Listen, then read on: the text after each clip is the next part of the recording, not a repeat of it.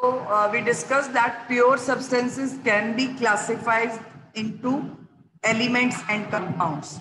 So elements, uh, scientist which was the uh, like first used the term element in 1661 was Robert Boyle. Okay, and Laurent Lavoisier was the first to establish an experimentally useful definition. He defined, you can underline this word and this definition as elements are the basic form of matter that cannot be further broken down. Yesterday also I told this thing that you cannot break down elements into uh, another like simpler substances because elements are the simplest one. So uh, elements is the basic form or the purest form of matter that cannot be broken down into further simpler substances by any chemical reaction. Clear? So this is elements and compounds में difference भी बेटा हमने कल discuss किया था. Now elements can be divided into three categories. Actually 118 elements are discovered till date and they are of uh, they can be further classified into three types uh, most of them are metals, few are metalloids and some are non-metals. Like physically, you can say metals have a luster, they have a uh, silvery gray, uh, gray or golden color. They conduct heat and electricity and they are malleable and ductile. These physical properties of metals you have already done in class 8 and metal. So on the basis of these physical properties, uh, and certain chemical properties that metals have a tendency to lose electron that will discuss in higher classes अभी आपको syllabus में नहीं है थोड़ा सा आपने ये करना है कि elements जो हैं they are further divided into three categories metals non metals and metalloids metals वो हैं जो physically lustrous solid हैं and uh, they conduct heat and electricity और malleable and ductile हैं ठीक है and examples so many examples of metals are there which we are using in our daily life gold silver copper iron sodium potassium etcetera and mercury is the only कुछ exceptions यहाँ पे दिए हुए हैं बेटा examples you can note down और you can underline in your book mercury is the only metal that is liquid at room temperature next is the non metals they show some or all of the properties uh, like they display variety of colours तो जैसे metals का एक metallic colour होता है contrast uh, है ये non metals have variety of colours for example chlorine gas is greenish yellow in colour iodine is purple in colour sulphur is yellow in colour carbon का आपको कोल वगैरह black देखने को मिलेंगे तो कार्बन के भी डिपेंड करता है किस तरह का है वो carbon exist in form of diamond also तो वहाँ पे एक वो लस्टर होती है उसके अंदर. तो variety of colours can be seen uh, with non-metals and they are poor conductors of heat and electricity. They are not lustrous. Example, matlab exception hai diamond. Otherwise, they are not lustrous, not sonorous, and non-malleable, non-ductile. Examples of non-metals are hydrogen, oxygen, iodine, carbon in the form of coal and coke. Carbon is also existing in the form of graphite and diamond. वो भी pure form है carbon के. Bromine, chlorine, etc. and bromine is the only non-metal which occurs in liquid state. Underline this also. Bromine is the only non-metal that occurs in liquid state and otherwise non-metals are generally solid or gaseous. Solid non-metals के example है iodine, carbon, sulfur, phosphorus. Gaseous non-metals है hydrogen, oxygen, chlorine, this one. Okay, and various other uh, uh, gases are there.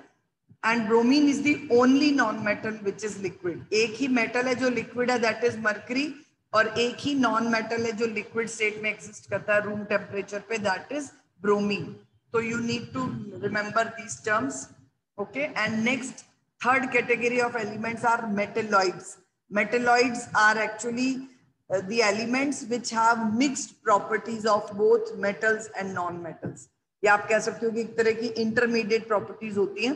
तो जैसे metals are good conductor non metals are poor conductors तो metalloid जो है they are semi conductor कुछ amount में electricity conduct कर सकते हैं तो इंटरमीडिएट प्रॉपर्टीज़ हैं दोनों के बीच में और ये आप कह सकते हो दोनों की मिक्स्ड नेचर आ जाता है उनमें तो these elements are called metalloids and metalloids के examples हैं बोरॉन silicon, जर्मेनियम etc. तो you need to remember these these of of and exceptions. यहाँ एक्सेप्शन था मर्करी लिक्विड स्टेट यहाँ पर bromine is only liquid non metal and few examples are given in this table also तो number of elements known at present are more than 100 till date 118 है बेटा अभी। तो 92 elements are naturally occurring और उसके बाद वाले जो एलिमेंट्स हैं वो मैनमेड है। मैनमेड मतलब उनको न्यूक्लियर रिएक्शन के थ्रू बनाया गया है। तो 92 out of 118 are naturally occurring elements rest are synthetic majority of the elements are solid liquid आपको बताया दो ही है गैशियस स्टेट में 11 एलिमेंट्स प्रेजेंट है। उसमें से actually six gases noble gases होती हैं helium neon krypton radon xenon etcetera बाकी अपने hydrogen oxygen nitrogen chlorine these gases fluorine five gases ये रिएक्टिव हैं। सिक्स जो है वो नोबल गैसेस है तो total eleven gaseous elements are known till date two are liquids mercury metal bromine non metal gases सारी नॉन मेटेलिक हैं। कोई मेटल्स गैसियस स्टेट में एग्जिस्ट नहीं करते। And majority of the elements are solid and two elements name gallium and caesium they are metals but they have very low melting point otherwise metals के melting point बहुत high होते हैं।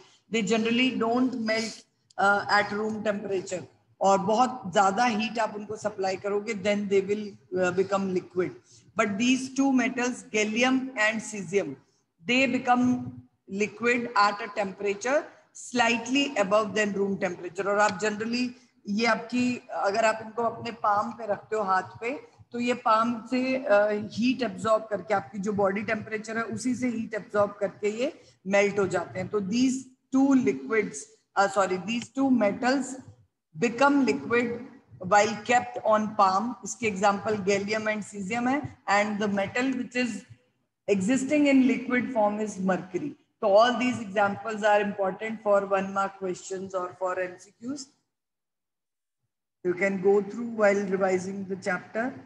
Compounds we have already done. अब हमने जो basically एक activity है uh, to differentiate between compounds and mixtures that we'll discuss. So a compound is a substance composed of two or more elements chemically combined with one another in a fixed proportion. Yesterday I dis uh, discussed this topic that how compounds are formed when we mix elements in a fixed proportion and when a chemical change taking place. That means when elements chemically combine to form a new substance, then you can say a, a compound is formed. So how we can prove by uh, one activity, we are going to discuss that. So what do we get when two or more elements are combined? We can either form mixture or compound. But how will we check whether we have formed a mixture or a compound? For that, one activity is a quite important activity. ये आपको syllabus में अपने उसमें भी file में भी लिखनी है. But अभी आप मैं discuss कर लेती हूँ. Later on, I will tell you how to write. So activities divide the class into two groups. Give five gram of iron filings and three gram of sulfur powder. ठीक है मतलब China dish में आपको actually school so we generally perform it in lab but actually in class so it's not possible and uh, lab में actually इसमें heating करना required है तो uh, whenever schools will open so I'll show you this activity so, in this, what we need to do 5 gram of iron iron filings होती हैं, बहुत छोटे छोटे, small pieces iron के 3 gram of sulfur powder. Sulfur is a solid which is a yellow colored powder. इसका three gram amount लेना and five gram iron filings का। दोनों को अलग अलग चाइना डिश एक छोटी सी बोल टाइप होती है चाइना क्ले से बनी हुई that is known as china dish और दोनों ग्रुप्स में ये दोनों चीज़ें डिवाइड करनी मतलब दोनों ग्रुप्स में You need to take these materials now first group will mix and crush iron filings and sulphur powder दोनों चीजों को मिक्स करके थोड़ा सा उसको क्रश करना है And group 2 will, what they will do, they will also first mix and crush iron filings and sulfur together. And then they will heat this mixture strongly till it becomes red hot. And then further they will remove from flame and allow it to cool अब दोनों में difference क्या हुआ? Group one ने just mix किया था iron और sulphur को और थोड़ा बहुत उनको क्रश कर लिया.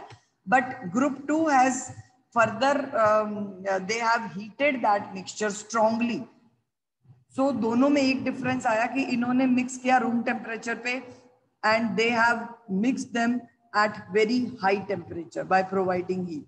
Now we'll check where chemical change is taking place or where the physical change is taking place.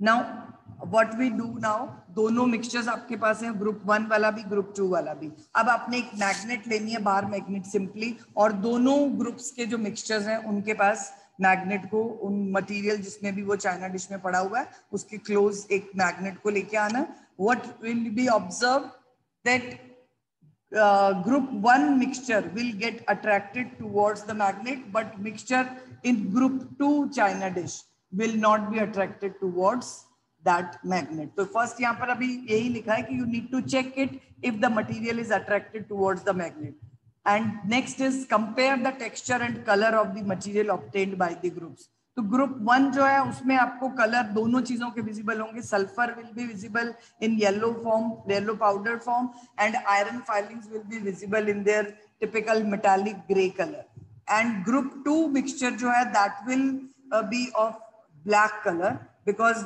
it is now a new product formed by heating. Now, third step is add carbon disulphide carbon disulphide एक liquid है तो उसको दोनों mixtures में से थोड़ा थोड़ा amount लेके कार्बन डाइसल्फाइड उसमें ऐड करना है स्टर वेल एंड फ़िल्टर तो इसमें आपको क्या ऑब्ज़र्व होगा, जो ग्रुप वन है, उसमें से सल्फ़र जो है that will get dissolve in carbon disulphide because carbon disulphide is a solvent for sulphur जो सल्फ़र को अपने अंदर डिजोल्व कर सकता है। तो ग्रुप वन में सल्फ़र डिजोल्व हो जाएगा बट ग्रुप टू में कुछ भी डिजोल्व नहीं होगा। Later on I will discuss all these observation again and fourth जो प्रोसीजर है आपने जिससे चेक करना है whether which material formed by group 1 or group 2 is a compound or a mixture तो उसके लिए फोर्थ है एट डाइल्यूट सल्फ्यूरिक एसिड और dilute hydrochloric acid to other part of the material obtained. Okay. Uh, perform all the steps with both the elements iron and sulfur separately. अब हम इन questions के answers लिखते हैं. Uh, did the material obtained by two groups look the same? No. You need to mention here no. They are both are different because in uh, group one, uh, the material obtained by group one has a different, uh, you can say, appearance for both iron and sulfur. Iron और sulphur दोनों इसमें differently observe हो रहे हैं and group two में जो material obtain हुआ है that material has entirely different you can say texture and colour it is black in colour okay वहाँ पर आपको अलग अलग सल्फ़र और आयरन विजिबल नहीं है but it has uniform composition having colour तो they have different appearance second है which group has obtained a material with magnetic properties तो group one has obtained a material with magnetic properties but group 2, uh, the material obtained by group 2 will not be attracted towards magnet.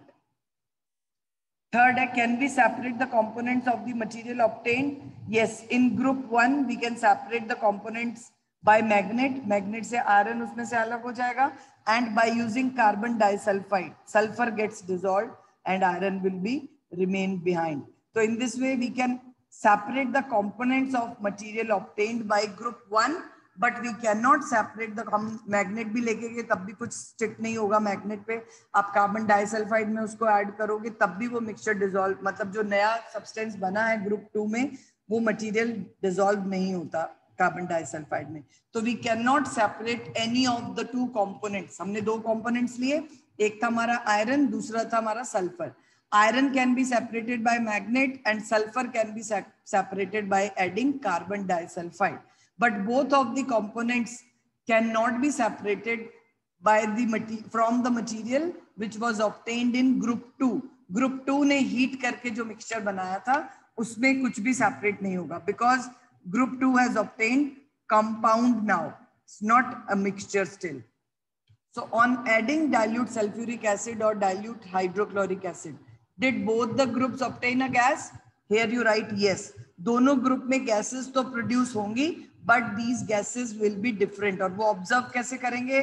Group one में जो gas है वो, उसकी कोई smell नहीं आएगी odourless होगी। ओडर कहते हैं स्मेल को। तो it will be odourless gas colourless gas and combustible means अगर आप एक बर्निंग मैच स्टिक या बर्निंग कैंडल उस टेस्ट ट्यूब के पास लेके जाओगे तो that will burn with a pop sound तो दैट मीन्स ग्रुप वन में हाइड्रोजन गैस प्रोड्यूस हुई है एंड ग्रुप टू जो है, उसमें एक आपको colourless but having a characteristic odour of rotten egg rotten egg होते हैं एग जो मतलब खराब हो जाते हैं जब, या फिर बॉइलिंग एग जैसी भी स्मेल आपको मिल सकती है। रॉटन एग की स्मेल ऑलमोस्ट वैसी सी होती है, थोड़ी शार्प होती है बॉइलिंग एग से ज़्यादा।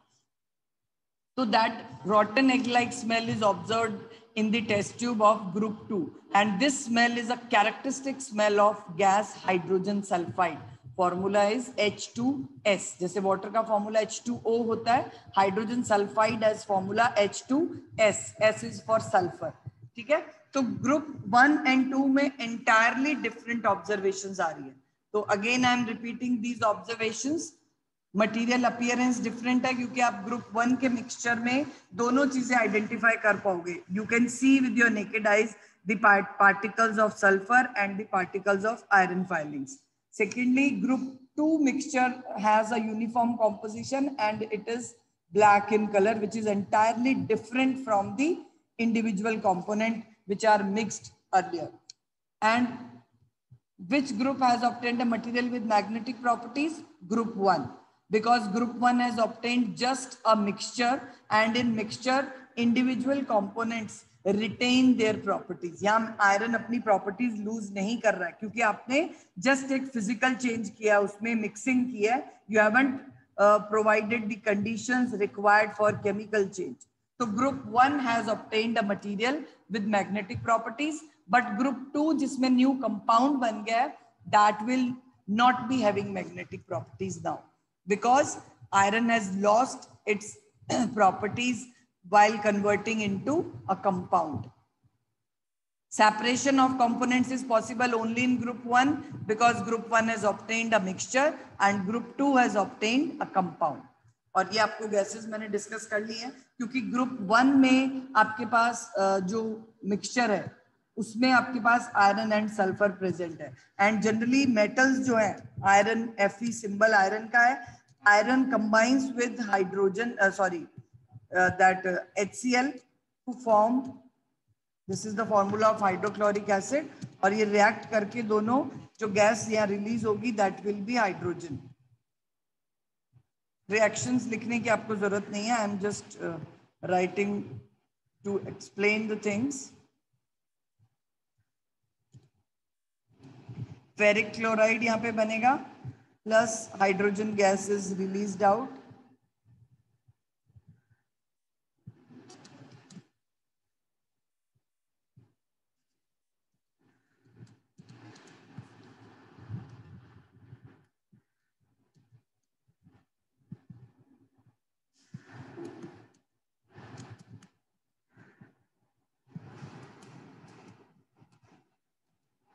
H2 is the hydrogen gas which is obtained in a reaction of mixture which contains iron and sulfur individually. But iron only reacts with sulfuric acid or hydrochloric acid, whereas uh, that uh, compound sulphur जो है वो react नहीं करेगा और compound में आपके पास क्या mixture to जो है बेटा group two has obtained a compound and that compound has formula FeS. This is ferrous sulfide which is obtained by group 2. Okay, name of the compound obtained by group 2 is ferrous sulfide FeS और इसकी जो reaction होगी HCl से here you will be getting the gas known as H2S. ठीक है तो यहाँ पर जो गैस इवॉल्व हो रही है that is H2S gas and this H2S gas has a characteristic rotten egg-like smell. Okay. So in this way, you can differentiate between mixture and compound by using this activity. Now, uh, in this, after this activity, I have discussed the observations. Now here, you must have observed that the products obtained by both the groups showed different properties, though the starting materials were same. Group 1 has carried out the activity involving a physical change, whereas in case of group 2, a chemical change has taken place.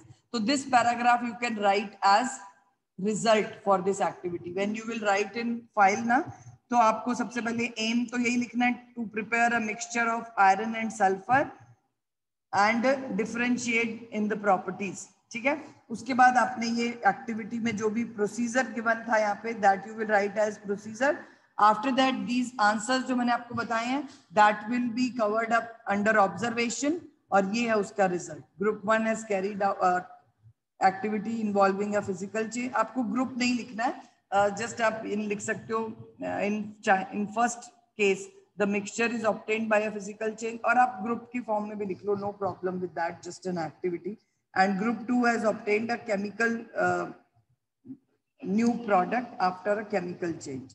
Okay.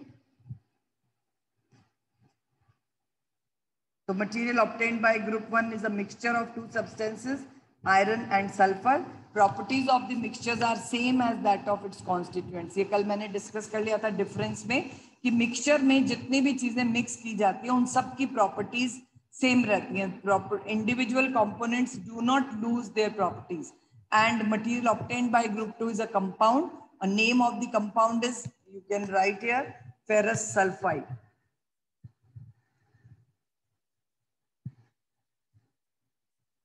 The name of compound is ferrous sulfide.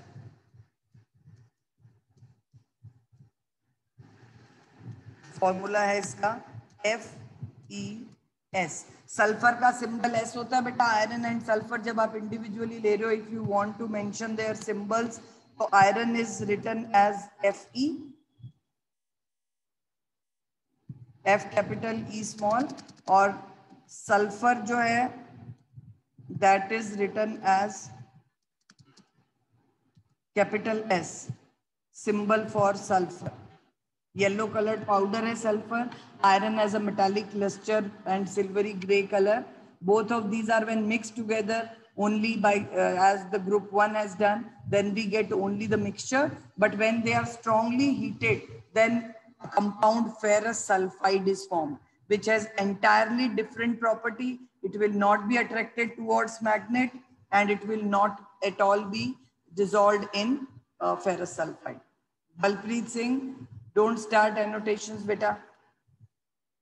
Ma'am, who is that Balpreet Singh? I don't remember the name otherwise. I don't think some student is there with this name.